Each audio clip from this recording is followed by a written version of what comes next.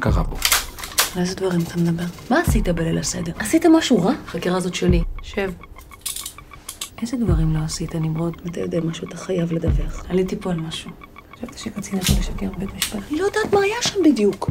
אין לי כלום. אין לי רישום, אין לי תיעוד בבית חולים, ואין לי מושג מה היה החלק שלך בכל הדבר הזה. לא בסטייל שלך שבחורה חוקרת אותך? לא רוצה, לא צריך. זה free country, baby. Окей, пас газ, позвони им, найди телефон и узнай, сколько стоит закрыть баллон. Я не могу, я באמצע חקירה. אתה הולך לשלם על זה. מפקד, דברים בשטח נראים אחרת לגמרי ממה שאתה רואה. אתה הולך לתת לי להתחרבש עם זה לבד, אה? מה שנעשה בלילה מתגלה באור יום.